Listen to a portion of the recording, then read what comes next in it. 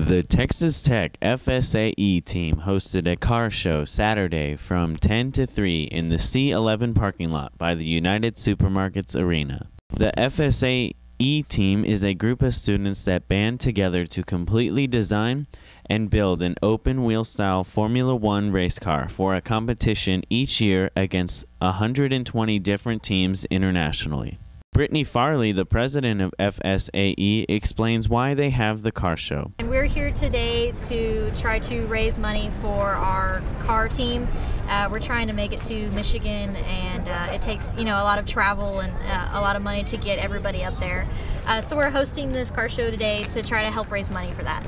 Students and people from the local Lubbock community came out to see all the cars on display. The car show showcased all different types of cars from trucks to sports cars, modern cars, and even classic cars. Brittany Farley explains what went into getting all the cars for this event. Well, really, it's a it's a big collaboration of, of all the members here. Uh, we all band together and try to go out to different uh, car clubs that are in town, uh, any automotive shops, uh, part shops, uh, things like that, and just try to get the word out through that and uh, Facebook and you know social networking.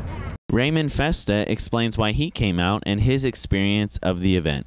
Parents are in town. Uh, me, my dad, and my uncle, who's an alumni as well, and my cousin. Uh, we're going to the Tech baseball game, and uh, we noticed there's a lot of events out here, and so um, just wanted to come check it out, uh, killing some time. So it's the first time I've ever seen anything like this out here, so it's kind of cool.